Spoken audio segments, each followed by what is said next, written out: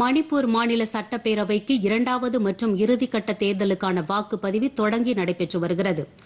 மணிப்பூர் மாநிலத்தில் மொத்தமுள்ள அறுபது தொகுதிகளில் முப்பத்தெட்டு தொகுதிகளில் கடந்த இருபத்தி எட்டாம் தேதி முதற்கட்ட வாக்குப்பதிவு நடைபெற்றது.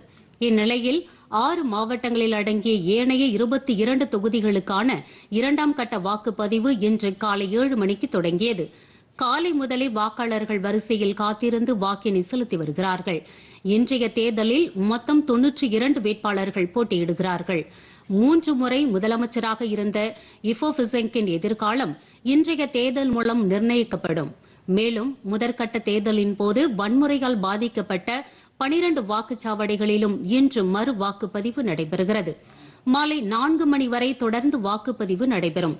பிற்பகல் மூன்று மணிக்கு பின்னர் கொரோனாவால் பாதிக்கப்பட்டவர்கள் வாக்களிக்க சிறப்பு ஏற்பாடுகள் செய்யப்பட்டுள்ளன.